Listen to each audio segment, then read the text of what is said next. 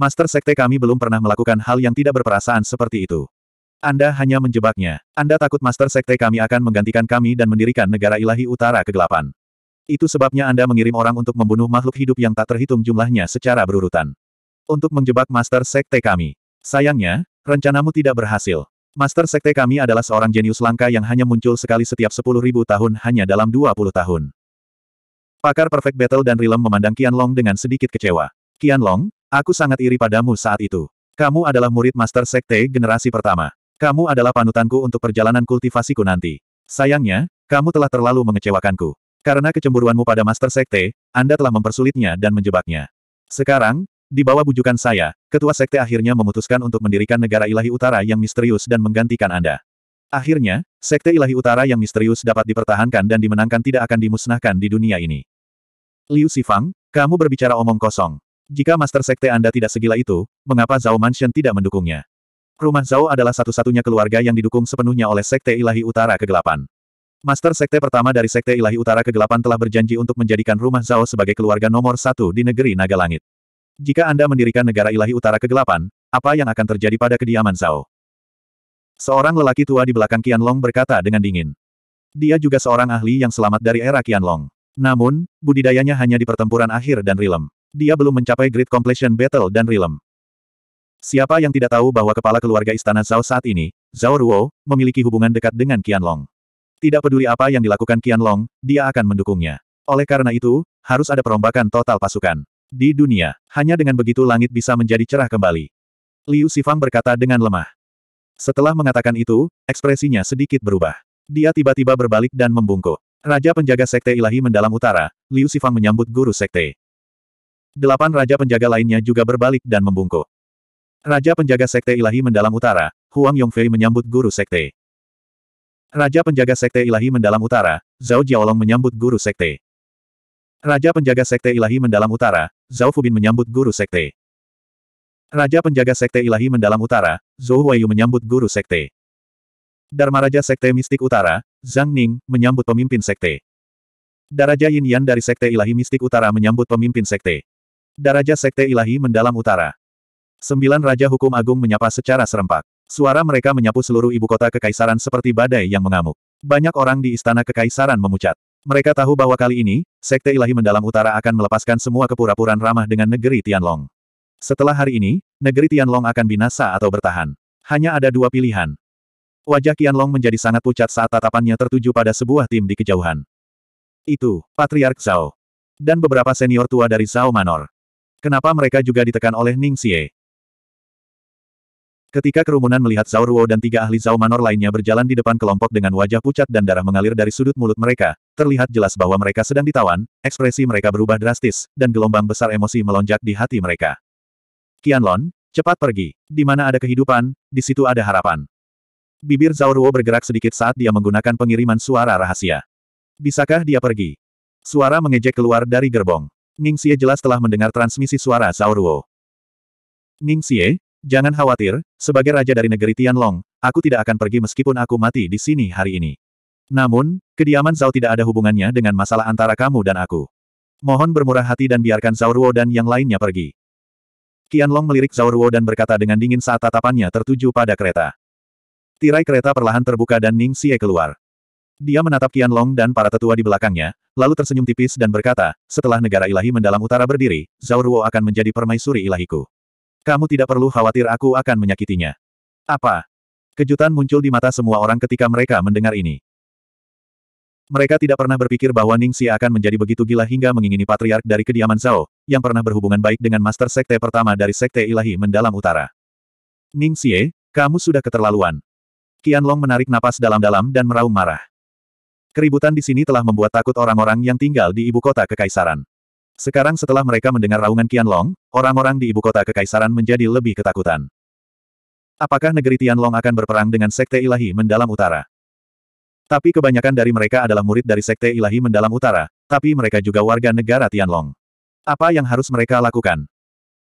Bahkan para prajurit yang ditempatkan di ibu kota kekaisaran berada dalam keadaan panik dan berjuang keras di dalam hati mereka. Beberapa jenderal bahkan diam-diam meninggalkan jabatannya dan bergegas ke istana kekaisaran. Adapun tujuan akhir mereka, tidak ada yang tahu. Qianlong, mulai hari ini dan seterusnya, tidak akan ada lagi negeri Tianlong.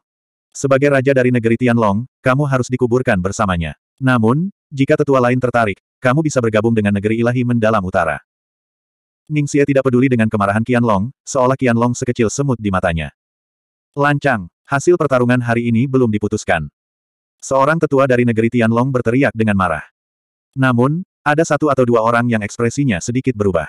Mereka melirik Qianlong dari sudut mata mereka dan sepertinya punya rencana dalam pikiran mereka. Kalau begitu aku akan menggunakanmu sebagai korban pedangku. Ning Xie tertawa panjang dan tiba-tiba mengayunkan pedangnya. Tidak ada yang tahu di mana dia menyembunyikan pedangnya sebelumnya, dan tidak ada yang tahu bahwa Ning Xie adalah pengguna pedang. Karena sebelumnya, Ning Xie selalu menggunakan tinju dan telapak tangannya. Tetua negeri Tianlong tidak punya waktu untuk memblokir serangan itu dan terpotong menjadi dua bagian. Tubuh bagian atasnya terpisah dari tubuh bagian bawahnya dalam sekejap, dan vitalitasnya memudar dengan kecepatan yang terlihat dengan mata telanjang. Penatua Zhao. Ekspresi Qianlong tiba-tiba berubah. Dengan sekejap tubuhnya, dia muncul di samping Grand Elder yang telah dipotong menjadi dua oleh pedang Ning Xie. Para tetua agung lainnya tersentak ketika mereka melihat ini. Tatapan mereka terhadap Ning Xie sudah dipenuhi dengan sedikit rasa takut. Apakah alam kehidupan abadi benar-benar kuat? Bisakah Battle Core Realm ditebang begitu saja? Cedera semacam ini bukanlah apa-apa bagi ahli Realm inti pertempuran, namun ketika Qianlong menyatukan kembali tubuh Penatua Zhao, dia menemukan bahwa luka itu terkikis oleh kekuatan misterius, menyebabkannya tidak dapat disembuhkan. Jika ini terus berlanjut, Penatua Zhao akan benar-benar mati karena kehilangan banyak darah. Semuanya, apakah kalian masih ingin berdiri di sisi Qianlong? Ning Xie meletakkan pedangnya dan tersenyum, menatap kerumunan. Saat ini, tiga sosok muncul di udara satu demi satu. Mereka muncul diam-diam, dan orang-orang di bawah tidak menyadarinya sama sekali. Bahkan Ning Xie tidak memperhatikan ketiga angka ini. Pemimpin sekte, aku telah meninggalkan kegelapan dan bergabung dengan cahaya. Salah satu tetua agung negeri Naga Langit, yang sebelumnya mengutuk Ning Xie, menundukkan kepalanya dan berjalan menuju Ning Xie dengan wajah merah. 3712. Tetua Agung Wu, Anda. Ketika orang-orang di istana melihat tetua ini mengkhianati Qianlong, mereka dipenuhi rasa tidak percaya dan marah. Itu benar. Ning Xie tersenyum. Orang bijak tunduk pada keadaan. Bahkan aku tahu ini. Kalian sudah hidup begitu lama. Kalian juga harus tahu ini, kan? Untuk sesaat, banyak orang yang tergerak. Namun, negeri naga langit telah berdiri selama bertahun-tahun. Mereka tidak berani mengkhianati Qianlong dalam waktu singkat. Tetua Wu, aku tidak menyangka kamu akan menjadi orang seperti itu. Saya pasti buta. Saya telah mengenal Anda selama bertahun-tahun tetapi saya tidak dapat melihat bahwa Anda adalah orang yang tercela. Tetua Agung, jangan marah. Setiap orang punya pemikiran masing-masing. Saya tidak bisa membuat semua orang setuju dengan saya. Namun, hari ini, kita akan bertarung melawan iblis Ning Xie ini. Akan ada banyak korban. Jika Anda bersedia pergi, saya tidak akan menghentikanmu. Qianlong mencoba menyembuhkan Grand Elder Zhao saat dia berkata. Sepertinya dia tidak peduli dengan pengkhianatan Grand Elder Wu. Namun, tidak ada yang menyadari bahwa sedikit rasa sakit muncul di kedalaman matanya. Bangsa naga langit yang perkasa, yang begitu kuat dan makmur, telah jatuh ke dalam kondisi seperti itu di tangannya. Dia merasa bahwa meskipun dia mati, dia tidak akan memiliki wajah untuk melihat tuannya. Aku sudah hidup terlalu lama. Teman-teman terkasih, kalian harus tahu bahwa pada usia ini, ada begitu banyak murid di keluargaku. Aku benar-benar tidak ingin mati dalam pertempuran. Karena pemimpin sekte Ning Xie adalah reinkarnasi dari pemimpin sekte pertama, bukankah masuk akal bagiku untuk mengikutinya? Grand Elder Wu menoleh untuk melihat semua orang dan tersenyum. Di langit. Reinkarnasi dari pemimpin sekte pertama. Kenapa aku tidak tahu kalau aku sudah mati? Ningki bergumam pada dirinya sendiri dengan ekspresi aneh. Wang Sue menutup mulutnya dan tersenyum. Adapun Tuan Tua, dia melihat ke arah lain. Di situlah kerajaan Sein Bull berada. Tercela. Bagaimana kamu bisa mengucapkan kata-kata seperti itu? Semua orang memarahi Penatua Wu. Ning Xie tersenyum. Dia sepertinya menikmati pemandangan seperti itu. Pada saat berikutnya, Penatua Wu tiba-tiba berbalik dan menembakkan asap putih ke arah Ning Xie. Zhao Ruo melihat pemandangan ini dan sedikit kegugupan muncul di matanya. Apa yang Grand Elder Wu tembakan adalah Heaven's Heart Powder. Benda suci yang untuk sementara waktu dapat menghancurkan budidaya Ningxie. Sejak awal, dia tidak menyangka operasinya akan berhasil. Alam kehidupan abadi adalah alam yang lebih tinggi dari alam pertempuran dan bagaimana keberadaan seperti itu bisa membiarkan orang lain menebarkan racun padanya. Hanya dengan menggunakan beberapa skema barulah operasi ini memiliki peluang berhasil. Dan inti dari skema ini adalah Grand Elder Wu. Semua orang terkejut dengan perubahan mendadak ini.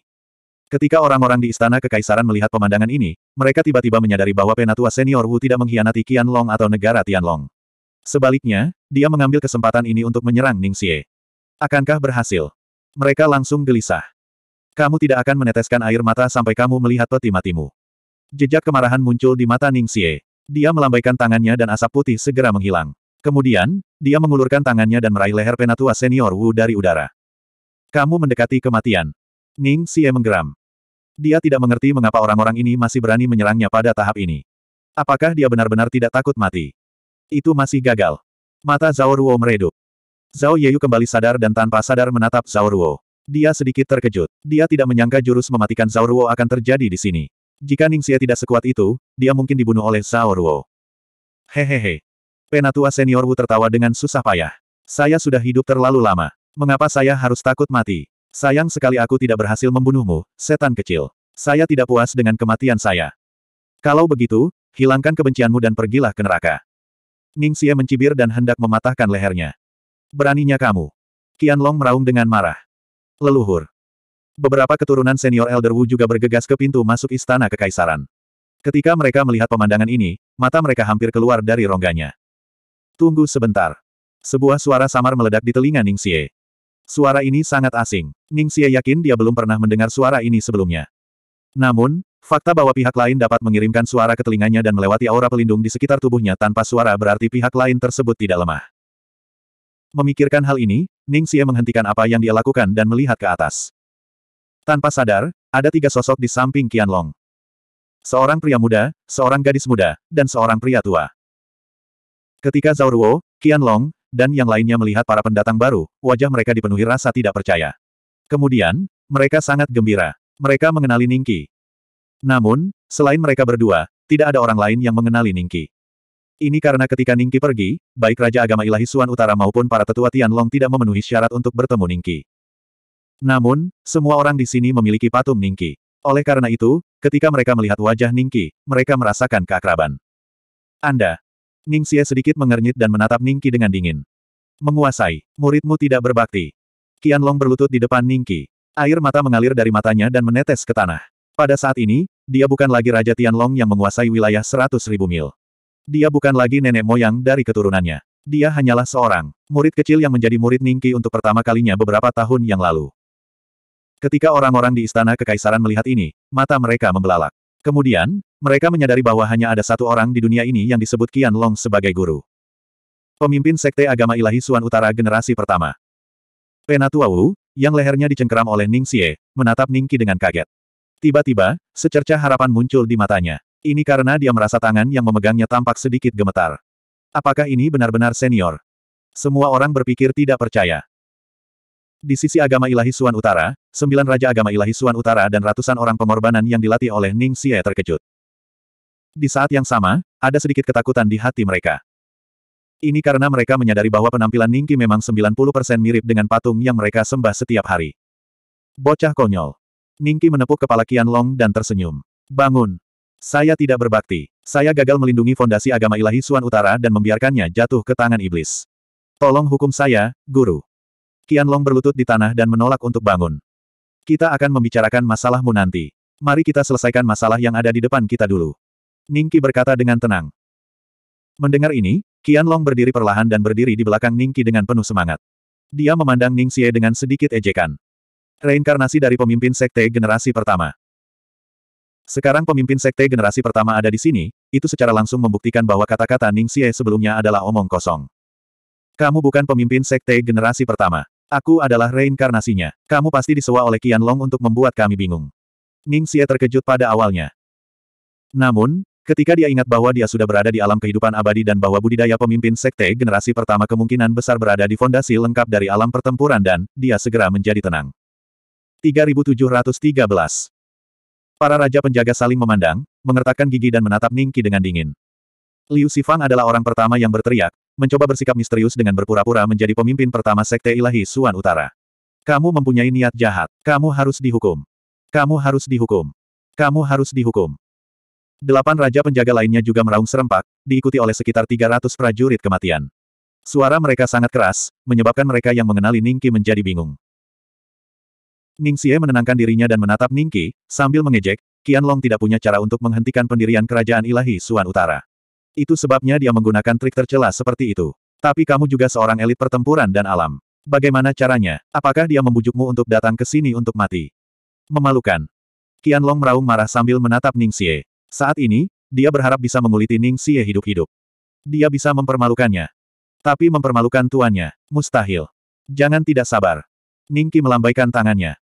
Qianlong segera menutup mulutnya dan mendapatkan kembali sikap hormatnya. Kerumunan tidak tahu apakah harus mempercayai Qianlong atau tidak. Qianlong sepertinya tidak berpura-pura. Mungkinkah pria ini benar-benar pemimpin pertama Sekte Ilahi Suan Utara? Kamu bilang kamu adalah reinkarnasiku. Apakah kamu punya bukti? Ning Qi tersenyum pada Ning Xie. Kamu masih keras kepala. Apakah kamu masih berpikir bahwa kamu adalah pemimpin pertama? Saya menghabiskan 10 tahun untuk menjadi ahli battle dan realm dan 10 tahun lagi untuk mencapai keabadian. Dengan bakat seperti itu, saya harus menjadi reinkarnasi dari pemimpin pertama. Ning Xie berkata dengan tenang. Saudara Beisuan, kami gagal melindungi Sekte Ilahi Suan Utara. Setan kecil ini telah merebut otoritas Sekte Ilahi Suan Utara. Kami telah mengecewakan Anda. Zhao Ruo tiba-tiba berkata. Swosh swosh swosh.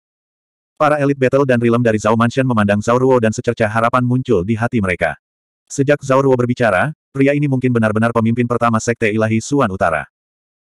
Jika demikian, bukankah bencana hari ini akan teratasi dalam sekejap? Zhao Yeyu bingung dan bingung. Dia tiba-tiba merasa menyesal di hatinya.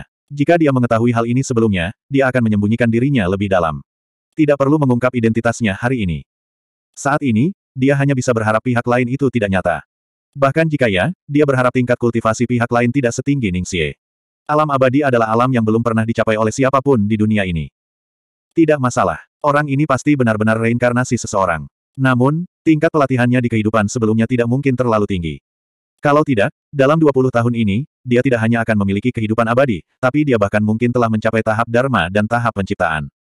Ning Qi tersenyum. Sejak dia menjadi seorang kultivator negara kelahiran kembali, dia sangat sensitif terhadap reinkarnasi. Dia bisa merasakan jejak aura khusus pada Ning Xie. Pemilik sebelumnya dari jejak aura ini mungkin adalah Zenith Heaven Golden Immortal di dunia abadi. Jejak aura ini dibawa ke kehidupan selanjutnya, memungkinkan Ning Xie mencapai keabadian dalam waktu singkat. Dewa emas yang sempurna memang sangat kuat, namun dibandingkan dengan budidaya Ning Qi saat ini, apa bedanya dengan seekor semut? Idola Dharma, penciptaan. Mungkinkah ada dua alam di atas keabadian? Keabadian bukanlah akhir. Semua orang kaget saat mendengar ini. Mereka memandang Ningki dengan sedikit rasa hormat. Untuk mengetahui tentang alam setelah keabadian, sangat mungkin bahwa orang ini adalah pemimpin sekte pertama dari sekte ilahi misteri utara. Lelucon yang luar biasa. Apakah kamu pikir kamu bisa membodohiku dengan mengarang dua alam? Biarkan saya melihat kartu truf apa yang Anda miliki. Beraninya kamu mempermainkanku di depanku. Ning Xie mencibir. Dia meraih penatua senior Wu dengan satu tangan dan menebas Ningki dengan tangan lainnya. Tebasan ini mengandung seluruh kekuatan alam abadi tahap awal. Dia yakin segala sesuatu di dunia akan berubah menjadi debu di depan tebasan ini. Berlutut. Ningki tiba-tiba berteriak. Suaranya seperti bel pertama dunia, meledak di telinga Ningxie. Aura pedangnya menghilang seketika dan dia turun dari kereta dengan linglung. Dia perlahan berjalan menuju Ningki dan kemudian melepaskan lengan senior Elder Wu. Dia berlutut di tanah dengan bunyi gedebuk. Matanya masih dalam keadaan tak bernyawa dan dia tampak seperti boneka. Pemimpin sekte. Liu Sifang dan Raja Penjaga lainnya tercengang. Bagaimana pemimpin sekte, yang telah mencapai alam abadi, bisa berlutut di tempat setelah Ningki meneriakinya. Ratusan prajurit kematian rilem pemurnian Ki peringkat 10 saling memandang. Mengapa pemimpin sekte mereka, yang hatinya seperti dewa, berlutut di hadapan orang ini? Mungkinkah orang ini benar-benar pemimpin sekte pertama dari sekte ilahi misteri utara? Semua orang di istana sangat senang saat melihat pemandangan ini. Mereka yakin bahwa Ningki adalah pemimpin sekte pertama dari sekte ilahi misteri utara, Guru Qianlong. Hal yang sama berlaku untuk kalian semua. Berlututlah. Ningki melirik ke sembilan raja penjaga dan ratusan prajurit kematian. Begitu dia selesai berbicara, mereka semua berlutut di tanah. Mereka akhirnya tahu mengapa pemimpin sekte mereka berlutut. Tekanan mengerikan di bahu mereka menyebabkan lutut mereka tenggelam jauh ke dalam tanah. Setelah Zhao Ruo dan yang lainnya dibebaskan, mereka segera berlari menuju Ningki. Namun, salah satu ahli Dou dan Rilem memperhatikan bahwa Zhao Yeyu masih berdiri di tanah. Dia dengan cepat berteriak ke arah Ningqi, senior, Zhao Yeyu adalah pengkhianat rumah Zhao. Dia telah menyerah pada Demon Ning Xie. Tidak, bukan aku, aku. Zhao Yeyu kaget. Dia dengan cepat melambaikan tangannya, tapi sudah terlambat. Sebuah kekuatan besar mendarat di bahunya, dan dia terpaksa berlutut di tanah. Pada saat itu, semua orang di ibu kota yang menyaksikan adegan ini sudah percaya pada identitas Ningqi. Tatapan mereka terhadap Ningki dipenuhi dengan kekaguman dan kegembiraan. Saya tidak pernah berpikir bahwa saya akan dapat melihat pemimpin sekte pertama dari sekte ilahi misteri utara dengan mata kepala sendiri. Dari jauh, seorang pemuda mengepalkan tinjunya kegirangan. Di sampingnya, Pria berotot dan wanita tua itu juga menatap Ningki dengan kaget. Tuan, Tetua Agung Zhao terluka oleh iblis Ning Xie. Saya ingin tahu apakah guru dapat menyelamatkan nyawa Tetua Agung Zhao. Melihat masalah hari ini telah diselesaikan, Qianlong segera memandang Ningki dengan malu dan membungkuk. Ningki memandangi Grand Elder Zhao yang tampak lemah di tanah. Se, senior, umurku tidak lama lagi. Tolong jangan sia-siakan energimu untukku. Hari ini, senior telah muncul dan menyelamatkan dunia dari bencana. Aku bisa mati tanpa penyesalan. Kata tetua Zhao dengan susah payah. Dia batuk seteguk darah setiap kali dia berbicara. Itu tidak akan membuang banyak energi. Ningki tersenyum dan dengan lembut melambaikan tangannya. Energi abadi pada luka Grand Elder Zhao langsung hilang. Dalam waktu kurang dari setengah napas, Penatua Zhao terkejut saat mengetahui bahwa lukanya tidak lagi menyakitkan. Dia tanpa sadar berdiri. Tidak ada lagi luka di pinggangnya. Melihat adegan ini, semua orang memandang Ningki dengan lebih kagum dan hormat. Metode seperti itu, tidak heran dia adalah pemimpin sekte pertama dari Sekte Ilahi Misteri Utara. 3714 Cedera Penatua Zhao tidak serius. Bagi seorang ahli battle dan realm, dipotong menjadi dua di bagian pinggang hanyalah luka yang dangkal. Namun, orang yang melukainya adalah ahli nomor satu di dunia, pemimpin kultus ilahi Suan Utara saat ini, Ning Xie, seorang ahli alam abadi. Namun, Ning Qi dengan mudah menghilangkan kekuatan yang diberikan Ning Xie pada tubuh Penatua Zhao dan membantunya pulih dari luka-lukanya. Inilah alasan mengapa semua orang terkejut. Mata yang tak terhitung jumlahnya tertuju pada Ning Xie. Melihat dia berlutut di depan Ningki seperti batu, semua orang yakin bahwa budidaya Ningki berada di atas alam abadi. Adapun seberapa tinggi alam abadi, mereka tidak tahu. Junior Zhao Meng berterima kasih kepada senior Ning karena telah menyelamatkan hidupku. Penatua Zhao dengan cepat membungkuk dan berterima kasih kepada Ningki. Terima kasih kembali. Ningki tersenyum tipis. Dia melirik Qianlong, Zhao Ruo, para tetua istana, para murid keluarga kerajaan, sembilan penjaga kultus ilahi Suan Utara, dan 300 orang yang berkorban. Akhirnya, Matanya tertuju pada Ning Xie. Pada saat yang sama, kebingungan di mata Ning Xie menghilang. Seolah jiwanya baru saja kembali ke tubuhnya. Ketika dia menyadari bahwa dia sedang berlutut di depan Ningki, dia tidak bisa menahan diri untuk tidak berteriak ketakutan. Kekuatan abadi di tubuhnya melonjak, mencoba mematahkan kekuatan yang diberikan Ningki padanya. Namun, tidak peduli seberapa keras Ning Xie berusaha, dia menyadari bahwa tekanan pada tubuhnya seperti matahari abadi. Itu tidak akan terguncang oleh kekuatannya. Ini tidak mungkin. Saya telah menerobos ke alam abadi. Ini hampir akhir dari seni bela diri. Bagaimana kamu bisa menjadi jauh lebih kuat dariku? Bagaimana ini mungkin? Ning Xie mengangkat kepalanya dan menatap Ning Qi dengan kaget. Hanya dia yang bisa memahami keengganan di hatinya. Dia hanya tinggal selangkah lagi untuk mendirikan kerajaan ilahi Suan Utara dan menjadi Raja Dewa Kerajaan Ilahi Suan Utara. Namun, dia tidak bisa mengambil langkah itu bagaimanapun caranya. Banyak pasang mata tertuju pada Ning Xie. Melihat orang yang dulunya paling kuat di dunia, pemimpin Sekte Ilahi Suan Utara saat ini, berlutut di depan Ningki bahkan tanpa bisa bangun, mereka merasa sangat puas. Adapun warga sipil yang tidak tahu apa yang sedang terjadi, mereka tiba-tiba teringat kejahatan yang dimarahi Qian Long pada Ning Xie. Pemimpin sekte yang asli menekan pemimpin sekte Ning Xie. Mungkinkah semua yang dikatakan raja itu benar? Apakah pemimpin kultus Ning Xie benar-benar membunuh makhluk hidup yang tak terhitung jumlahnya hanya untuk mengembangkan seni iblisnya? Biar ku beritahu padamu, sebenarnya aku sudah mendengarnya sejak lama. Namun, Kultus ilahi mistik utara terlalu kuat, jadi aku tidak berani memberitahu siapa pun tentang hal ini. Bukan hanya bangsa naga langit kita, tapi negara lain dinasti juga memiliki kota-kota yang hancur dalam semalam. Beberapa orang yang selamat mengatakan kepada orang lain bahwa Ning Xie lah yang melakukan ini. Namun, Ning Xie adalah pemimpin sekte dari kultus ilahi mistik utara, jadi tidak ada yang mempercayai mereka yang selamat menghilang tanpa jejak. Tidak ada yang tahu apakah mereka hidup atau mati, tapi beritanya menyebar dengan cepat. Apakah memang ada hal seperti itu? Jika ini benar, maka pemimpin Sekte Ning Xie. Tidak, Raja Iblis Ning Xie telah membunuh banyak murid Sekte Ilahi Mendalam Utara. Pantas saja dia ingin menjadi Raja Dewa. Dia sebenarnya Iblis. Mereka ingin memanfaatkan kesempatan ini untuk membuat agama ilahi Beisuan dan negara Tianlong menghilang, hanya menyisakan kerajaan ilahi Beisuan. Dengan cara ini, setelah sekian lama, siapa yang akan mengingat pemimpin sekte saat ini? Aku khawatir dia hanya mengenal pemimpin kultus Ning Xie. Pengkhianat ini pantas dibunuh. Tidak lama kemudian, Ningxie menjadi pengkhianat di mulut semua orang. Dengan adanya Ningki, tidak ada yang akan takut pada pria yang bahkan tidak bisa menyentuh sudut pakaian Ningki. Mata Liu Sifang dan Raja Dharma lainnya dari Sekte Ilahi Suan Utara dipenuhi ketakutan. Ningxie ditekan, dan mereka juga ditekan. Dan orang yang menindas mereka mungkin adalah Master Sekte pertama yang mendirikan Sekte Ilahi Suan Utara. Hukuman mengerikan apa yang akan menanti mereka selanjutnya. Bahkan jika mereka mati, kematian mereka tidak akan mudah. Pemimpin Sekte, kami tidak bersalah. Kami mengira Ning Xie adalah reinkarnasi Anda, itu sebabnya kami tertipu olehnya. Tolong, pemimpin sekte, demi kerja keras kami untuk kultus ilahi mendalam utara selama ini, mohon maafkan kami kali ini. Liu Sifang tiba-tiba meraung. Awalnya, semua orang mengira Liu Sifang memanggil Ning Xie. Tetapi ketika mereka mendengar bagian terakhir dari kata-kata Liu Sifang, ekspresi mereka menjadi aneh. Terutama Qian Long, yang memandang Liu Sifang dengan jijik. Tapi Liu Sifang mengabaikan tatapan ini. Dia memandang Ningki dengan ketulusan yang tak tertandingi, berharap Ningki bisa melihat kesetiaan di hatinya. Belum lama ini, dia mengungkapkan kekecewaannya pada Qian Long. Sekarang, setelah ditekan, dialah orang pertama yang memohon belas kasihan. Qian Long dan yang lainnya menyadari bahwa temperamen Liu Sifang yang biasa mungkin palsu dan itu semua hanyalah akting. Liu Sifang yang pengecut ini benar-benar nyata. Wajah Ning Xie menjadi gelap, tapi dia tidak bisa menoleh. Kalau tidak, dia pasti akan bertanya pada Liu Sifang apakah dia telah menganiayanya selama ini. Oh, anda tidak bersalah. Benar-benar. Ningki tersenyum pada Liu Sifang. Liu Sifang mengangguk berulang kali. Sebelum dia dapat berbicara, suara dingin Ning Xie terdengar. Saat aku membantai semut-semut itu, aku memberimu banyak darah dan daging. Sekarang kamu mengkhianatiku. Liu Sifang sedikit terkejut. Saat dia hendak membela diri, dia menemukan bahwa mulutnya tertutup oleh suatu kekuatan dan tidak dapat membukanya lagi. Saat ini, Liu Sifang putus asa. Ningki tidak lagi memandang Liu Sifang. Matanya tertuju pada Ning Xie dan dia berkata sambil tersenyum, keabadian adalah akhir dari seni bela diri. Siapa yang memberitahumu hal itu? Keabadian berarti keabadian. Siapa yang memberitahumu hal itu?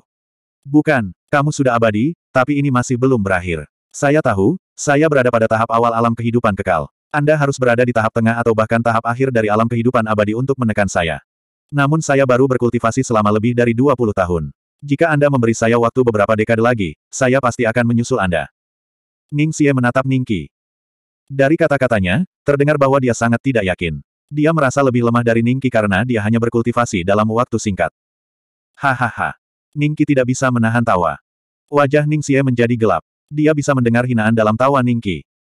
Di atas tahap kehidupan kekal, ada idola Dharma. Di atas idola Dharma adalah Sang Pencipta. Di atas Sang Pencipta adalah manusia abadi. Di atas manusia abadi, Ningki memberitahu Ningsie nama-nama alam budidaya seolah-olah dia sedang menghitung harta keluarganya. Ketika dia menyebutkan ranah kaisar abadi, semua orang terkejut. Bahkan Ningsie memandang Ningki dengan tidak percaya, mencoba membedakan apakah Ningki mengatakan yang sebenarnya dari ekspresinya. Tuan, Anda pasti seorang kaisar abadi. Qian Long berkata dengan penuh semangat. Puci. Wang Sue tidak bisa menahan tawa. Tatapan Zhao Ruo tiba-tiba tertuju pada Wang Sue. Ketika dia melihat penampilan Wang Sue dengan jelas, ekspresinya sedikit meredup. 3715.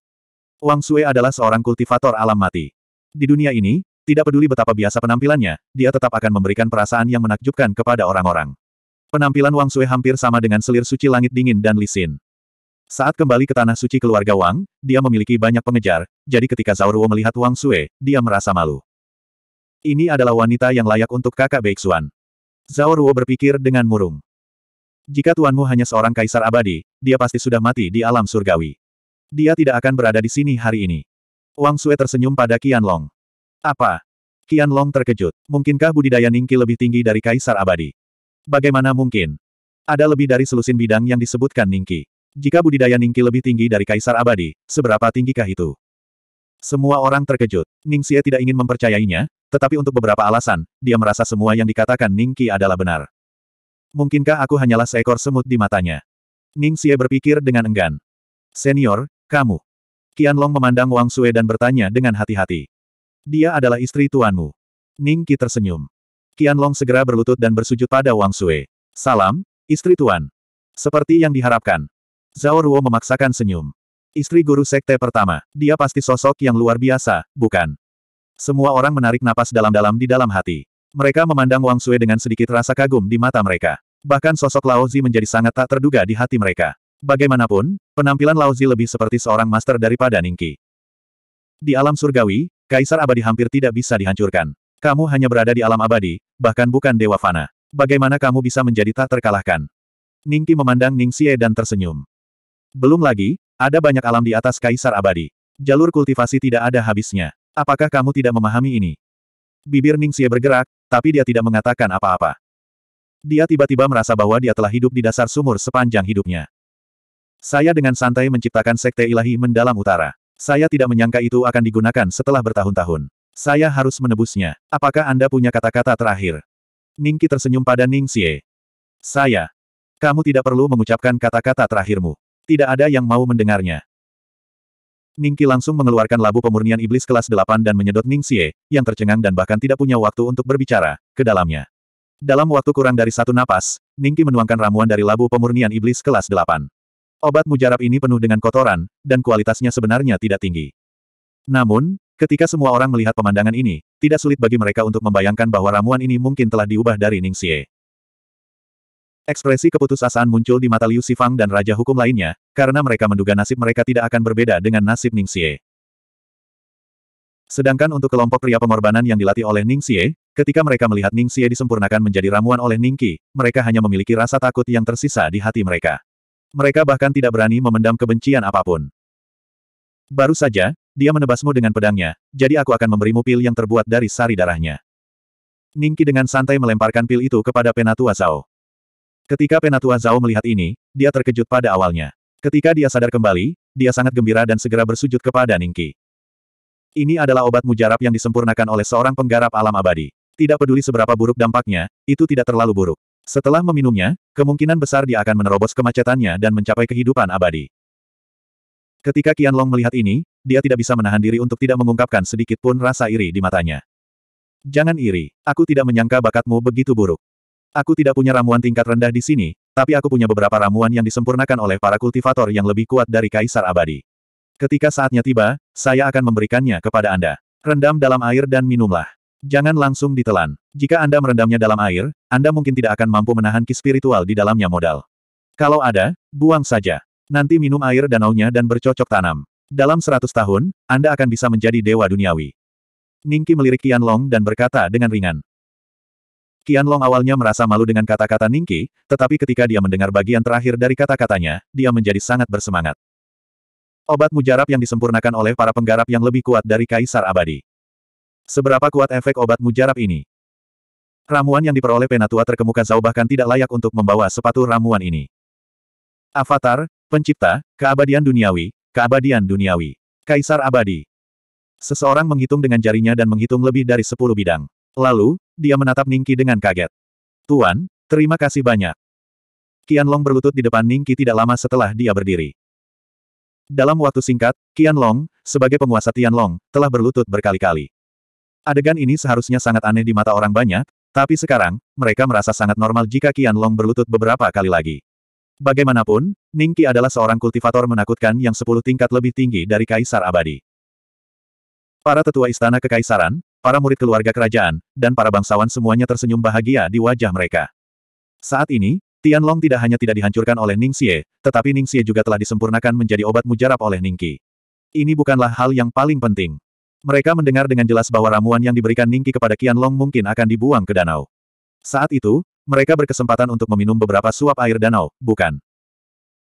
Dengan ramuan yang begitu ajaib, bahkan beberapa suap air danau dapat membantu mereka menerobos alam mereka saat ini. Untuk sesaat, Ningki merasa seperti dia bisa mendengar suara banyak orang menelan air liur mereka. Giliran kita. Liu Sifang putus asa. Dia memperhatikan bahwa mata Ningki tertuju padanya. Sedangkan kalian, tingkat kultivasi kalian terlalu rendah, dan kalian tidak perlu memurnikan kalian menjadi obat mujarab. Namun, untuk mengintimidasi calon anggota Sekte Ilahi Misteri Utara, kalian harus berlutut di sini. Seorang kultivator pertempuran dan alam tidak akan hidup lama. Saya akan membantu Anda meningkatkan kultivasi Anda ke alam pencipta. Ningki tersenyum. Sebelum orang banyak bereaksi, Ningki sudah melambaikan tangannya dan menembakkan sembilan aliran aura yang mendarat di Liu Sifang dan sembilan raja hukum lainnya. Kemudian, kultivasi mereka berhasil menembus dengan kecepatan yang terlihat dengan mata telanjang. Apa? Wajah Liu Sifang dipenuhi dengan keterkejutan. Dia menyadari bahwa budidayanya jauh lebih kuat dari sebelumnya. Bahkan jika itu adalah Ning Xie, dia masih bisa membunuhnya dengan satu pukulan. Delapan raja hukum lainnya sama terkejutnya dengan dia. Namun, mereka segera menyadari bahwa mereka masih belum bisa bangun. Memikirkan apa yang dikatakan Ningki, sembilan dari mereka merasakan hawa dingin di hati mereka. Mungkinkah, Ningki benar-benar ingin mereka berlutut di sini selama sisa hidup mereka? Ketika Qian Long dan yang lainnya melihat ini, mereka sangat terkejut. Ningki sebenarnya telah meningkatkan budidaya sembilan Raja Hukum ke alam pencipta dengan begitu mudah. Itu adalah alam yang bahkan lebih kuat dari keabadian. Qian Long, ketika kamu punya waktu, kamu bisa memasang tablet batu di sini dan menuliskan alasan mengapa mereka berlutut di sini untuk memperingatkan generasi mendatang dari Sekte Ilahi Misteri Utara. Ningki berkata dengan tenang. Iya Tuan. Qianlong segera mengangguk setuju. Namun, dia kemudian memandang Liu Sifang dan yang lainnya dengan cemas. Tuan, Sekarang budidaya mereka meroket, bagaimana jika di masa depan? Jangan khawatir, hanya eksistensi dengan kultivasi yang lebih kuat dari tuanmu yang dapat menembus mantra pembatas. Di dunia ini, kultivasi tuanmu adalah yang nomor satu. Mereka pasti akan berlutut di sini sampai umur mereka habis. Wang Sue tersenyum.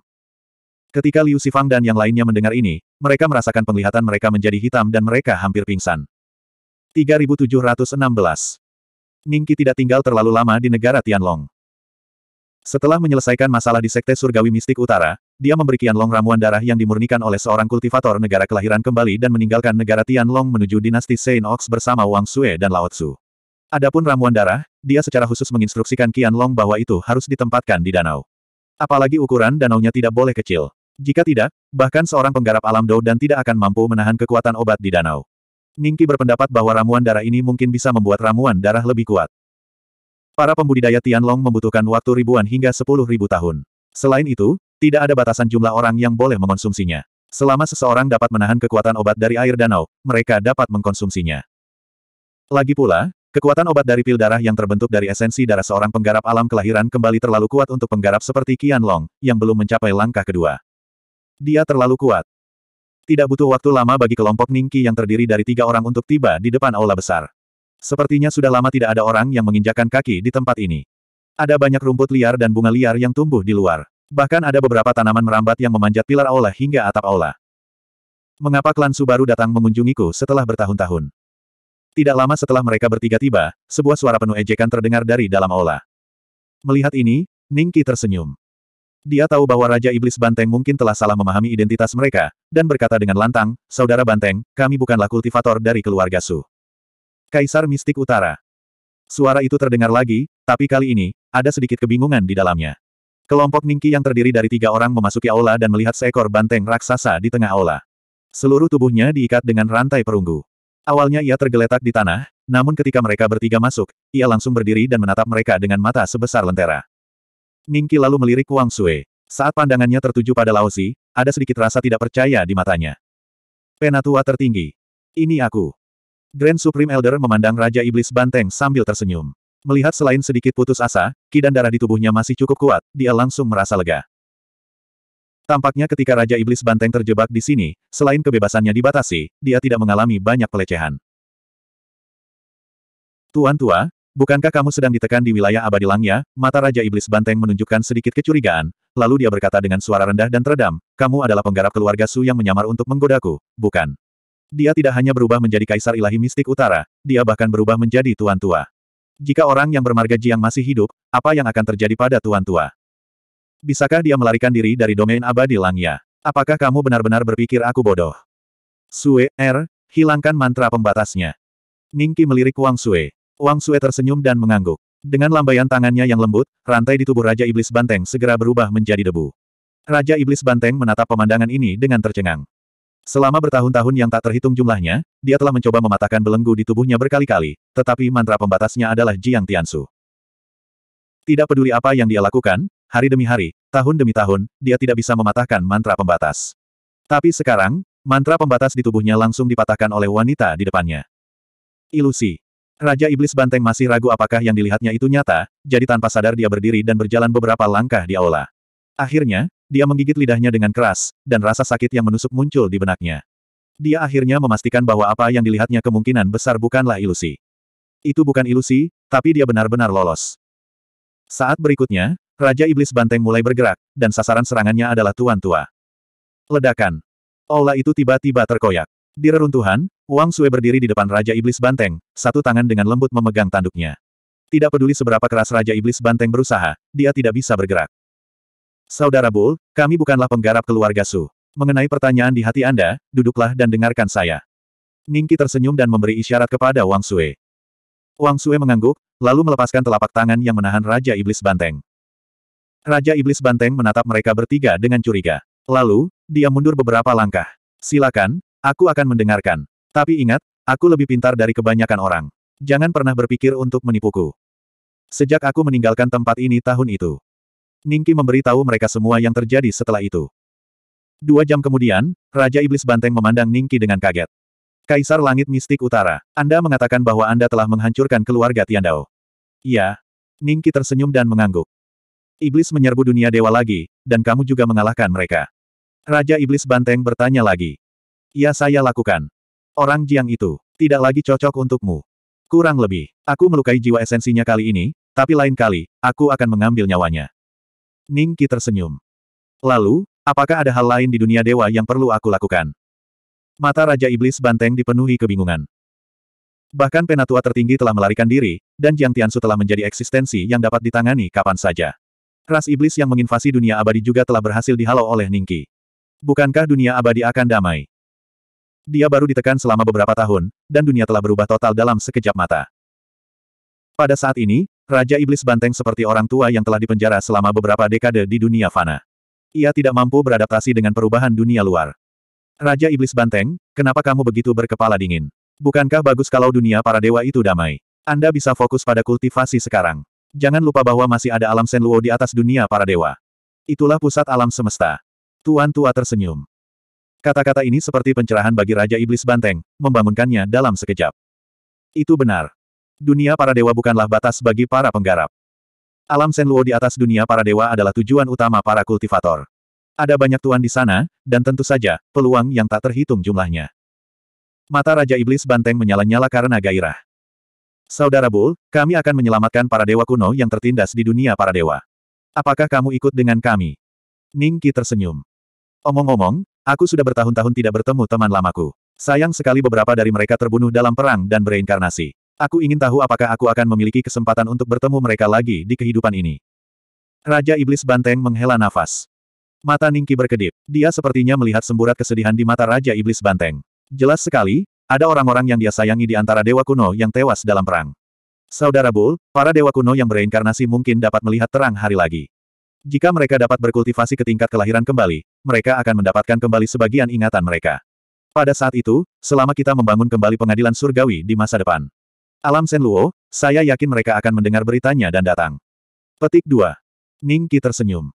Kaisar Langit Mistik Utara, apakah kamu serius? Raja Iblis Banteng sedikit terkejut. Lalu, dia sangat gembira. Dia tidak tahu apa itu keadaan kelahiran kembali.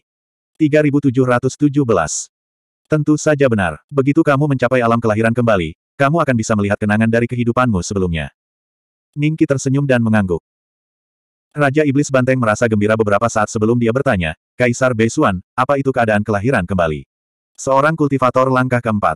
Benar, dalam langkah keempat, ada tiga alam, karma, takdir, dan reinkarnasi. Alam reinkarnasi adalah alam terakhir dari langkah keempat. Di luar itu adalah kultivator langkah kelima. Ning Qi mengangguk. Karma, takdir, reinkarnasi. Raja Iblis Banteng sedikit terkejut. Langkah keempat sebenarnya memiliki tiga bidang. Pada puncaknya, dia adalah kultivator langkah ketiga, dan kekuatannya setara dengan monyet. Meskipun monyet itu lemah, ia hanya sedikit lebih lemah, jadi dia tahu banyak tentang langkah ketiga. Dia awalnya mengira langkah keempat mirip dengan langkah ketiga, tapi dia tidak menyangka. Sebenarnya ada tiga ranah pada langkah keempat. Jika itu masalahnya, tidak akan mudah bagi makhluk abadi kuno untuk berkultivasi ke alam ini. Namun selalu ada secercah harapan. Bangsa Tianlong. Setelah menyelamatkan Raja Iblis Banteng, Ningki tidak segera meninggalkan tempat ini. Kali ini, ketika dia kembali dan melihat Qianlong, Zhao Ruo, dan yang lainnya masih hidup, Ningki merasa sangat lega. Meskipun inti dari kultus surgawi mistik utara berantakan karena Ningxie, sembilan raja hukum sedang berlutut di jalan-jalan ibu kota kekaisaran. Lebih dari 300 orang pengorbanan Ningxie telah dieksekusi oleh Qianlong. Para petinggi kultus surgawi mistik utara lainnya ditangkap. Bahkan jika mereka berhasil melarikan diri, mereka tidak akan bisa melarikan diri dalam waktu lama. Ada juga beberapa yang tidak berpartisipasi dalam rencana Ningxie. Setelah beberapa waktu, agama ilahi Suan Utara akan kembali ke keadaan semula. Danau Naga Langit terletak 5 mil sebelah barat Istana Kekaisaran. Danau Naga Langit ini adalah mata air bawah tanah. Airnya tidak berasal dari luar, melainkan dari mata air bawah tanah. Air terus-menerus menyembur keluar, dan air yang keluar akan membawa serta beberapa ikan dan udang segar. Itu jernih dan tembus cahaya, dan merupakan salah satu pemandangan terindah di ibu kota. Banyak penyair muda suka datang ke sini untuk menikmati pemandangan. Hari ini, hampir semua penggarap di ibu kota kekaisaran telah berkumpul di samping Danau Naga Langit. Para pembudidaya ini berasal dari berbagai sekte dan klan. Di hadapan orang-orang biasa, status mereka transenden. Tapi hari ini, yang ada hanya rasa iri di mata mereka saat mereka melihat Danau Naga Langit di dekatnya. Para imperial dan penduduk istana Zhao menelan ludah saat mereka menatap Danau Naga Langit. Baru saja, Qianlong telah melemparkan ramuan darah yang diberikan Ningqi ke Danau Naga Langit. Saat itu juga, Danau Naga Langit langsung mendidih, dan ikan serta udang melompat keluar dari danau. Mereka yang bermata tajam dapat melihat bahwa hanya dalam beberapa saat, ikan dan udang itu telah meniru ramuan darah. Sang Buddha telah menjadi makhluk spiritual langit dan bumi, dan seluruh tubuhnya memancarkan aura yang kuat. Mulai sekarang, penduduk Danau Naga Langit tidak akan berani menerobos masuk. Seorang master sekte dari sekte ibu kota kekaisaran tidak bisa menahan diri untuk tidak menghela nafas. Kultivasi pria ini hanya berada di peringkat ke-8 dari alam pemurnian Ki. Di masa lalu, budidaya semacam ini dapat dianggap sebagai pembudidaya terkemuka. Namun, di dunia sekarang ini, budidayanya jauh lebih lemah dibandingkan 300 orang pengorbanan yang dilatih oleh Ning Xie. Wajar jika dia mendesah seperti ini. Bahkan orang idiot pun akan tahu bahwa air Danau Naga Langit telah berubah menjadi air suci yang dipenuhi ki spiritual di bawah pengaruh ramuan tersebut. Meminumnya seteguk akan menyebabkan budidaya seseorang meningkat secara eksponensial. Jika bukan karena fakta bahwa dia berasal dari keluarga kerajaan atau klan Zhao, Qian Long tidak akan membiarkan dia meminumnya. Air danau jatuh ke tangan orang lain. Huh, kalau saja aku bisa menyesapnya. Master klan lainnya menghela nafas sambil menggelengkan kepalanya. Klannya tidak memiliki status tinggi di ibu kota kekaisaran. Mustahil baginya untuk meminum seteguk air danau. Kecuali dia bisa menerobos ke peringkat ke-10 dari alam pemurnian Qi, dia mungkin bisa mendapatkan seteguk air danau dari Qianlong. Perubahan Danau Naga Langit berangsur-angsur mereda. Semua murid keluarga kerajaan dan penggarap klan Zhao memandang Qianlong dan Zhao Ruo. Mata mereka dipenuhi dengan antisipasi. Mereka tidak sabar untuk langsung minum seteguk untuk melihat efeknya. Namun, Qianlong dan Zhao Ruo tidak bergerak dan mereka tidak berani bertindak gegabah. Qianlong, ayo pergi bersama. Zhao Ruo memandang Qianlong dan tersenyum. Baiklah. Qianlong mengangguk dengan penuh semangat. Keduanya berada di alam sempurna pertempuran dan Apakah mereka bisa menerobos keabadian akan bergantung pada efek air danau dan apakah itu sekuat yang dikatakan Ningki. Permukaan danau naga langit sangat luas. Sebuah ramuan tunggal dapat mengubah air danau menjadi makhluk spiritual langit dan bumi. Meskipun mereka mempercayai Ningki, mereka masih khawatir akan menyia-nyiakan ramuan itu. Keduanya mengulurkan tangan dan masing-masing meraih segumpal air danau. Mereka menelannya di depan mata semua orang yang penuh harap. Saat berikutnya, aura Qianlong dan Zhao Ruo meningkat secara gila-gilaan. Peningkatan semacam ini mengejutkan semua ahli Perfect Realm Battle dan yang hadir. Mereka merasa bahkan jika mereka berkultivasi selama seratus tahun lagi, mereka tidak akan sekuat aura mereka berdua. Mungkinkah seteguk air danau setara dengan budidaya selama seratus tahun? Segera, mereka menyadari bahwa tebakan mereka salah besar. Aura Qianlong dan Zhao Ruo meningkat tak terkendali. Hanya dalam beberapa detik, kulit mereka berdua telah pecah. Darah segar terus muncrat. Darah segar, yang mengandung kekuatan darah yang mengerikan, menetes ke tanah dan menyebabkan rumput liar di tanah tumbuh subur. Untuk sesaat, keduanya berlumuran darah dan terlihat sangat menyedihkan. Penyimpangan budidaya. Semua orang saling memandang dengan bingung. Beberapa petani mulai curiga bahwa ramuan yang diberikan oleh Ningki adalah racun. Namun, peningkatan aura mereka berdua bisa terlihat dengan jelas. Tidak, efek ramuannya terlalu kuat. Raja dan kepala klan Zhao mungkin tidak akan mampu menanggungnya. Penatua senior Wu tiba-tiba berkata. Semua orang menghirup udara dingin ketika mendengar ini. Seteguk air danau adalah sesuatu yang tidak bisa ditanggung oleh dua ahli Perfect Realm Battle dan mereka yang berencana mencari kesempatan menyelinap ke tempat ini untuk minum air danau bermandikan keringat dingin. Wajah mereka dipenuhi ketakutan yang berkepanjangan. Jika mereka tidak melihat keadaan Zhao Ruo dan Qian Long saat ini, mereka mungkin akan meledak dan mati di tempat. Kalian berdua terlalu ceroboh. Sebuah suara tiba-tiba terdengar di atas kepala semua orang. Segera setelah itu, semua orang merasakan pandangan mereka kabur, dan sesosok tubuh muncul di depan Qian Long dan Zhao. Sosok ini meletakkan kedua tangannya di atas kepala mereka, dan aura mereka segera menjadi tenang. Retakan di kulit mereka juga terlihat dengan mata telanjang. Gelarnya adalah penyembuhan. Pemimpin Sekte. Banyak anggota Sekte Ilahi Mistik Utara yang bersemangat saat melihat Ningki. Ini adalah pemimpin Sekte pertama. Dia benar-benar berbeda dari Ning Xie palsu. Beberapa napas kemudian, Qian Long dan Zhao mengeluarkan raungan panjang secara bersamaan. Aura di tubuh mereka melonjak puluhan kali lipat. Hanya ketika ahli Dou dan Rilem yang hadir tidak dapat melihat kedalaman mereka berdua barulah mereka berdua duduk bersila dan mulai perlahan menarik aura yang dipancarkan. Ningki melihat ke danau naga langit dan menggelengkan kepalanya. Ramuan darah yang dimurnikan oleh ahli alam kelahiran kembali dilemparkan ke danau ini. Setiap suapan air danau setara dengan esensi darah manusia surgawi alam sempurna atau bahkan lebih kuat. Jika dia tidak tiba tepat waktu, Qian Long dan Zhao Ruo akan meledak dan mati dalam beberapa detik. 3718 itu pemimpin Sekte Hitam Utara. Sepertinya jika pemimpin Sekte Hitam Utara tidak tiba tepat waktu, Raja dan kepala keluarga Zhao akan meledak karena energi spiritualnya. Ini sulit dipercaya. Mereka berdua pasti telah menembus kemacetan dan mencapai alam kehidupan abadi. Seteguk air danau saja sudah bisa memberikan efek yang begitu ajaib. Danau naga langit ini sangat luas. Berapa banyak pejuang battle dan rilem yang dapat menerobos ke alam kehidupan abadi? Ramuan yang diberikan oleh pemimpin Sekte Hitam Utara terlalu menakutkan. Semua orang memandang harimau naga langit dengan keserakahan dan sedikit ketakutan. Sepuluh menit kemudian, budidaya Qianlong dan Zhao Ruo secara bertahap stabil pada tahap awal alam kehidupan abadi. Keduanya membuka mata dan berdiri untuk berterima kasih kepada Ningki. Apakah tidak ada danau yang lebih besar di ibu kota selain yang ini? Ningki memandang Qianlong dan mengerutkan kening. Tuan, danau naga langit ini adalah danau terbesar di ibu kota. Qianlong berbisik dengan rasa takut. Dia tahu apa yang terjadi padanya sekarang. Jika bukan karena kekuatan Ningki yang menetralkan energi spiritual kekerasan di tubuhnya, dia akan meledak dan mati. Danau ini terlalu kecil untuk menetralkan obat mujarab. Kamu dan Zhao Ruo pasti meminumnya seteguk penuh, kan? Ningki tersenyum. Qianlong dan Zhao Ruo mengangguk dengan rasa takut yang masih ada. Nanti kalau mau meminjam air telaga untuk bercocok tanam, kamu hanya bisa minum sedikit saja, kira-kira. Ningki mengulurkan jari kelingkingnya. Telan saja dalam tiga porsi seperti kuku. Akan lebih aman kalau begini. Iya tuan. Qianlong dengan cepat mengangguk. Ketika prajurit battle dan rilem lainnya melihat ini, mereka dengan cepat mengingat ukuran kuku Ningki. Mereka takut jika mengkonsumsi dalam jumlah yang salah, tubuh mereka akan meledak dan mati. Air danau tidak ada habisnya. Anda bisa memutuskan siapa yang memenuhi syarat untuk mengkonsumsinya. Ningki tersenyum. Ketika Qianlong melihat ini, dia dengan cepat berbisik, Tuan, haruskah kita membiarkan mereka mengkonsumsinya sekarang? Sekarang Ningki ada di sini, Ningki setidaknya bisa membantu menyelesaikan masalah apa pun yang terjadi saat menelan air danau. Jika Ningki pergi, ahli Dou dan Rilem dari Kerajaan Naga Langit dan ahli Dou dan Rilem dari Rumah Zhao harus berhati-hati saat menelan air danau. Mereka tidak boleh melakukan kesalahan apa pun.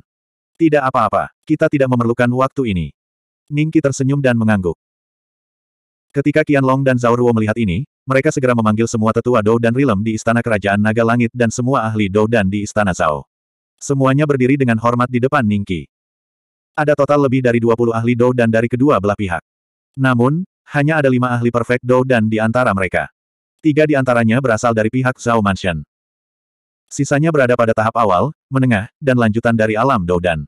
Para penggarap alam Dan yang namanya tidak dipanggil oleh Qian Long dan Zhao Ruo semuanya kecewa saat ini.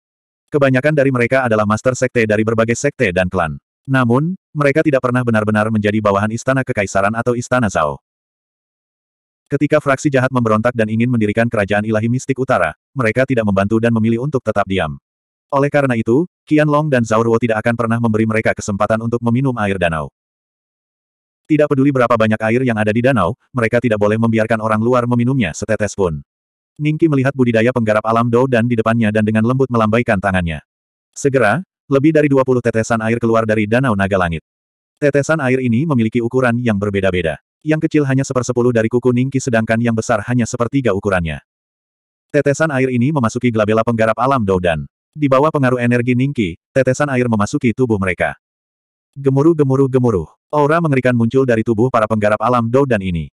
Dengan bantuan Ningki untuk menyempurnakan kekuatan obat, budidaya mereka telah menembus dalam waktu kurang dari tiga napas. Mereka maju dari tahap awal alam Doudan ke tahap tengah alam Doudan.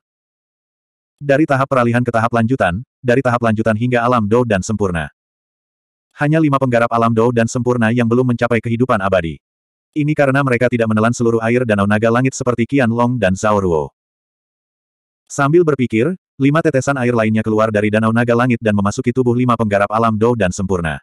Kali ini, kemacetan mereka akhirnya mengendur dan aura mereka meningkat puluhan kali lipat. Hidup abadi. Grand Elder Wu membuka matanya dan menatap tubuhnya dengan tidak percaya. Penampilannya pulih dengan kecepatan yang terlihat dengan mata telanjang. Dalam waktu kurang dari selusin napas, rambut putihnya berubah menjadi hitam dan kerutan di wajahnya menghilang. Secara bertahap menjadi lancar. Empat orang lainnya juga telah menerobos ke alam kehidupan abadi seperti dia, namun aura mereka tidak dapat dibandingkan dengan Qian Long dan Zhao Ruo. Keduanya telah menstabilkan alam mereka setelah mencapai alam kehidupan abadi, tetapi mereka berlima masih agak tidak stabil. Jika mereka menderita luka berat saat ini, wilayah mereka harus diatur ulang. Dia telah kembali ke Pil Battle. Tujuh ahli alam kehidupan abadi. Semua orang tercengang. Sebelum Ningki muncul, ahli terkuat di dunia adalah Ning Xie, yang berada di alam kehidupan abadi. Setelah Ningki muncul, dia tidak hanya menekan Ning Xie, tapi dia juga membiarkan Qian Long dan yang lainnya mencapai kehidupan kekal dalam waktu yang sangat singkat, yang setara dengan beberapa kedipan mata. Tujuh pembangkit tenaga listrik alam abadi telah muncul di masa lalu. Apakah begitu mudah untuk menerobos alam kehidupan abadi? Seorang pemimpin sekte bergumam pada dirinya sendiri. Tubuhnya memancarkan aura ahli rilem pemurnian ki peringkat 10. Jika itu terjadi di masa lalu, dia akan menjadi ahli top. Tapi sekarang, masih ada pertarungan alkimia dan tujuh alam kehidupan abadi.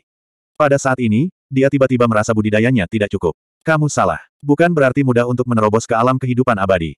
Hanya saja obat mujarab yang diberikan oleh pemimpin Sekte Utara misterius itu terlalu mengerikan. Obat itu dibuang ke dalam danau yang begitu besar dan air danau itu terbuang sia-sia.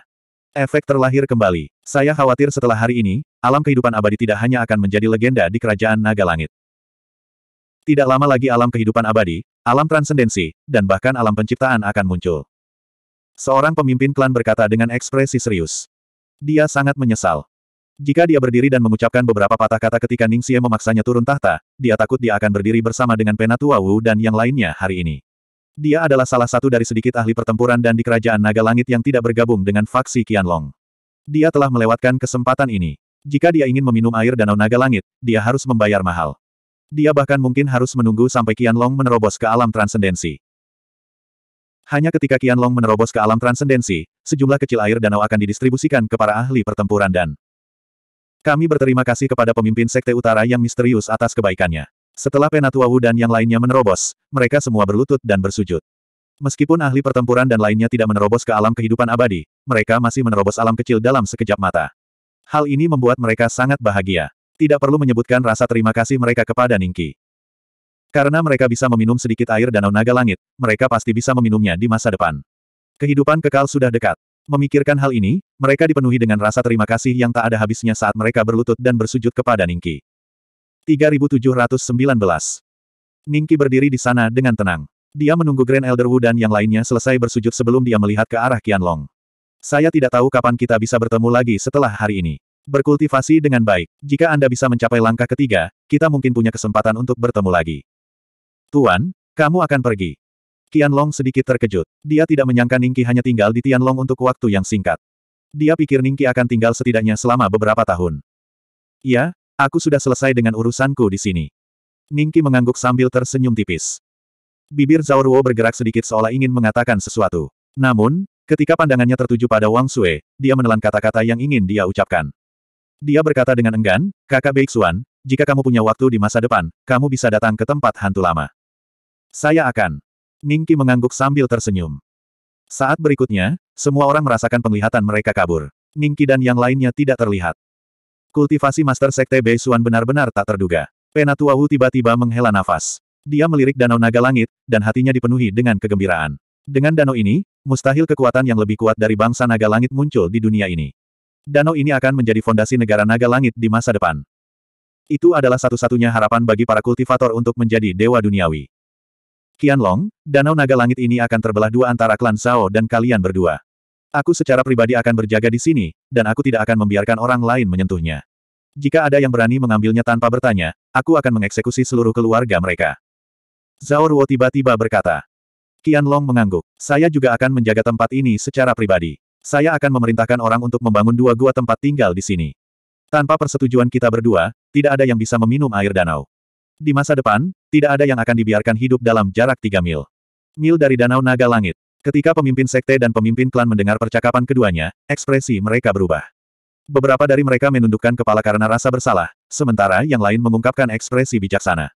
Sepertinya mereka sedang menghitung bagaimana mereka bisa mendapatkan dua tetes Danau Naga Langit dari Qian Long dan Zhao Ruo. Air Danau Kaisar Mistik Utara, aku hanya tahu tujuh tempat di mana Dewa Kuno dari klan abadi kuno disegel. Adapun di mana dewa kuno lainnya disegel, hanya keluarga Tiandao atau Jiang Tiansu yang mungkin tahu. Tidak masalah. Ayo selamatkan mereka dulu. Adapun keberadaan orang lain, kita bisa menyelidikinya. Jika kita benar-benar tidak dapat menemukannya, aku akan pergi ke dunia luo ilahi bersama Wang Sue dan menekan Jiang Tiansu. Kemudian, dia secara pribadi akan membawa kita untuk mengambilnya. Ning Qi tersenyum. Mendengar itu, Grand Supreme Elder mengangguk sambil tersenyum. Raja Iblis Banteng mengikuti di belakang ketiganya, ekspresinya masih sedikit tidak wajar. Menurutnya, belum lama ini Ningki kalah dari Jiang Tiansu di kehidupan sebelumnya.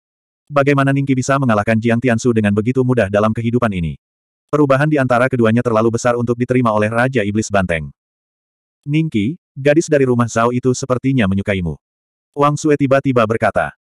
Ningki sedikit terkejut, lalu dia tersenyum. Mungkin aku terlalu luar biasa. Wang Sue. Serius, apa kamu tidak punya rencana? Menurutku dia cukup tergila-gila. Setelah bertahun-tahun, dia masih perawan. Siapa yang percaya bahwa dia tidak menunggumu?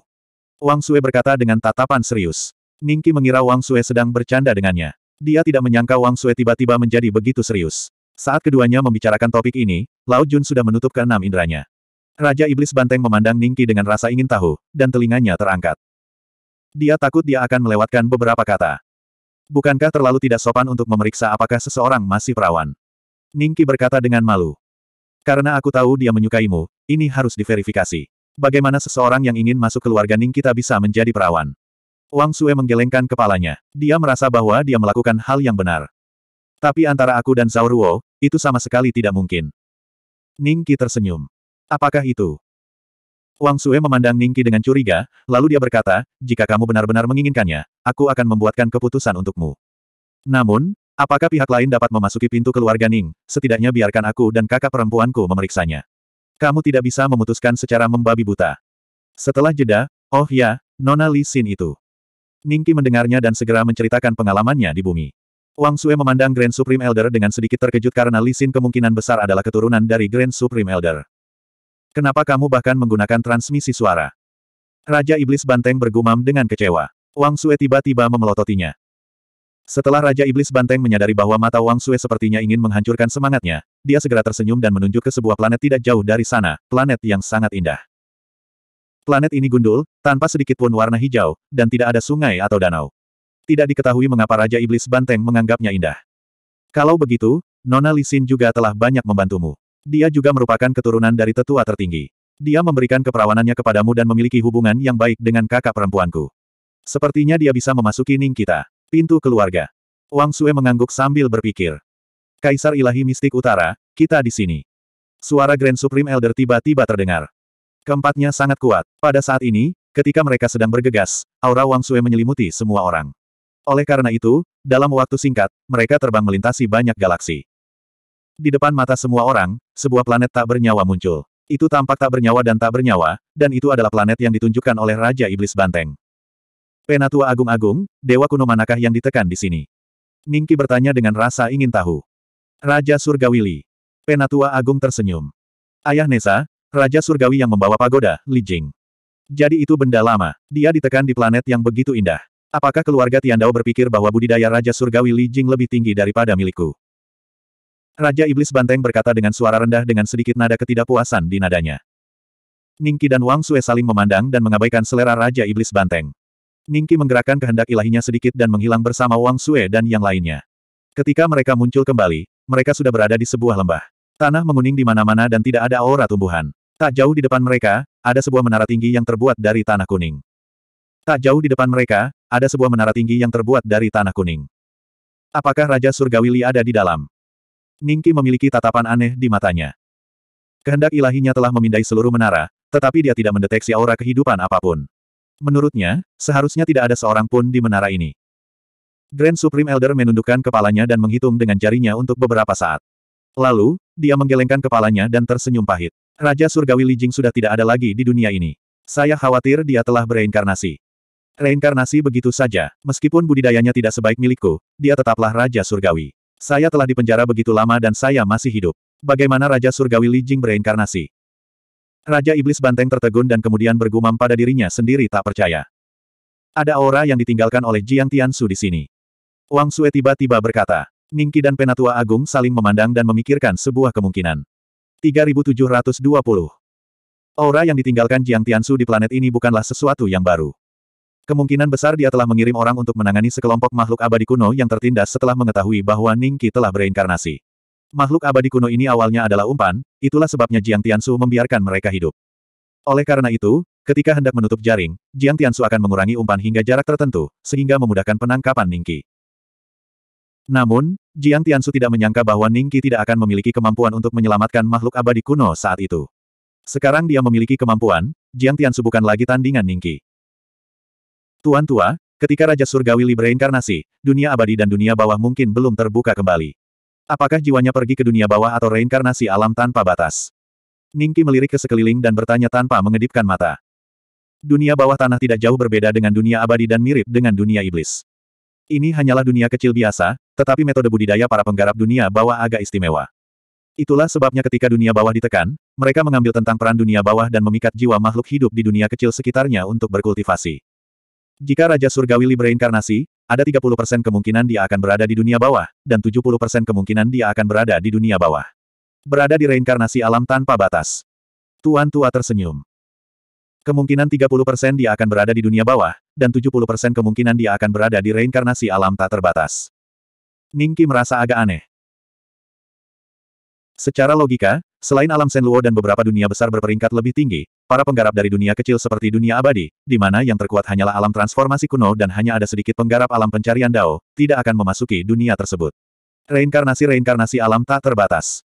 Mereka akan menghilang antara langit dan bumi, atau memasuki sistem reinkarnasi serupa karena aturan tertentu, seperti dunia bawah. Namun, Tuan Tua mengatakan bahwa ada kemungkinan 70% dia akan memasuki reinkarnasi-reinkarnasi alam tak terbatas. Ini sedikit membingungkan. Itu benar. Tuan Tua tersenyum dan mengangguk. Penggarap dari dunia kecil juga bisa memasuki reinkarnasi-reinkarnasi alam tak terbatas. Wang Sue juga bingung. Meskipun dunia abadi adalah tempat yang sangat tidak mencolok di antara dunia segudang, Ketika tempat ini masih dalam kekacauan, dunia ini diciptakan oleh seorang senior yang maha kuasa. Kita semua, Dewa Kuno dan Klan Fana, memiliki darah dari Yang Maha Kuasa, dan Yang Maha Kuasa ini berasal dari dunia Senluo. Oleh karena itu, sangatlah normal bagi kita untuk bereinkarnasi ke dunia segudang setelah kita mati persen kemungkinan jiwa kita akan diambil oleh penggarap dunia bawah. Grand Supreme Elder mengelus jenggotnya dan berkata perlahan. Wang Sue masih bingung dengan apa yang dikatakan Tuan Tua. Meskipun dia adalah seorang kultivator rilem yang tidak bisa dihancurkan, dia memiliki sedikit pengalaman. Sebelumnya, dia hanyalah seorang kultivator dari sudut kecil dunia abadi. Dia tidak tahu tentang beberapa rahasia kuno dunia abadi. Adapun Ningki, ekspresi kesadaran melintas di matanya.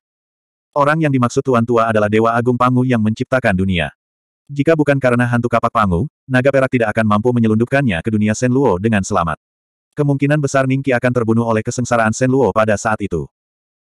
Dunia abadi diciptakan olehnya, dan aku juga memiliki darahnya di dalam diriku. Aku bahkan diselamatkan oleh hantu kapak Pangu dan bereinkarnasi ke dunia ini. Labu kecil itu pernah berkata bahwa dia telah melihat Pangu di dunia Senluo. Itu sepertinya kehidupanku sebelumnya, tidak, itu seharusnya kehidupanku sebelumnya, hubungan antara Pangu dan aku mungkin tidak sesederhana itu. Dalam sekejap, Ningki memikirkan banyak hal. Melihat Wang Sue masih bingung, Ningki tersenyum dan menjelaskan beberapa patah kata.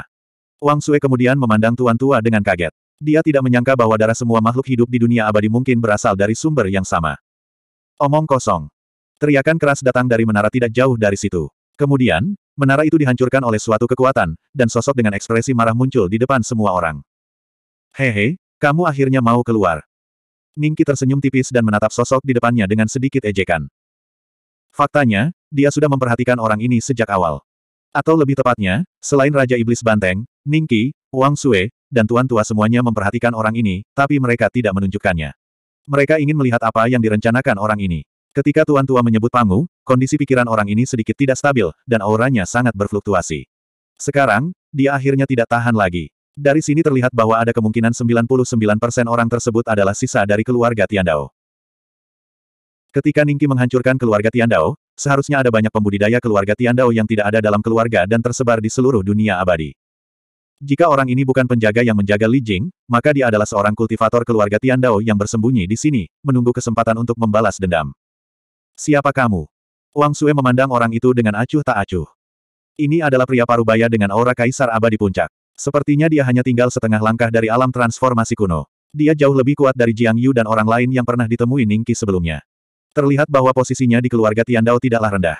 Dengan budidaya seperti itu, dia bisa memandang rendah semua pahlawan di dunia abadi. Sayangnya, di depan Ningki, Kaisar Abadi dapat dengan mudah dihancurkan hanya dengan jentikan jarinya. Mereka tidak berbeda dengan semut. Jiang Tongyin dari keluarga Tiandao. Pria parubaya itu memandang Wang Sui dengan dingin dan mengalihkan pandangannya ke Ningki dan yang lainnya. Dunia abadi diciptakan oleh patriark keluarga Jiang saya. Semua makhluk hidup mengandung garis keturunan patriark saya. Kapan giliran Dewa Agung Pangu yang Anda bicarakan? Siapa dia? Patriark keluarga Jiangmu. Hahaha. Jika bukan karena jatuhnya Dewa Agung Pangu, dia bisa membunuh Jiang Tiansu dengan jentikan jarinya. Saat itu, ketika Jiang Tiansu bersekongkol melawan kita, seberapa kuat dia dariku. Jika dia berani membuatku berkultivasi selamanya, aku akan menghancurkan kepalanya dengan pukulan. Raja Iblis Banteng tertawa liar dan arogan. Banteng tua. Jiang Tongyin telah menebak asal-usul Ningki dan yang lainnya. Kemudian, dia merasa bahwa patriarknya telah dipermalukan, jadi dia tidak bisa menahan diri untuk tidak menunjukkan dirinya. Sekarang setelah dia mendengar nama Raja Iblis Banteng, dia memandang Raja Iblis Banteng dengan hati-hati, dan ekspresinya berubah drastis. Raja Iblis Banteng. Dia tahu beberapa dewa kuno yang ditekan di keluarga Tiandao. Di antara mereka, ada beberapa yang termasuk pakar top pada masa itu. Di antara mereka adalah Raja Iblis Banteng. Bagaimana kamu keluar? Itu tidak mungkin. Mantra pembatasan pada Anda secara pribadi dibuat oleh Patriark. Selain Patriark, siapa lagi yang bisa menyelamatkanmu? Bahkan Ning Beixuan itu tidak memiliki kemampuan itu. Jiang Tongyin berkata dengan sengit. Bahkan Tuan Tua telah keluar. Bukankah aku keluar begitu saja? Sekarang Anda tahu bahwa Patriark Anda tidak sekuat yang Anda kira, bukan? Lain kali aku melihatnya, aku akan menginjaknya sampai mati. Raja Iblis Banteng tertawa dingin. Tuan Tua. Tatapan Jiang Tongyin tertuju pada Tuan Tua. Setelah beberapa napas, tanpa mengucapkan sepatah kata pun, dia terbang ke langit, berubah menjadi aliran cahaya, dan melesat ke kejauhan. Setelah terbang selama satu jam penuh, dia berhenti dengan wajah penuh ketakutan. Dia berbalik dan melihat Ningki dan yang lainnya tidak mengejarnya. Dia menghela nafas lega.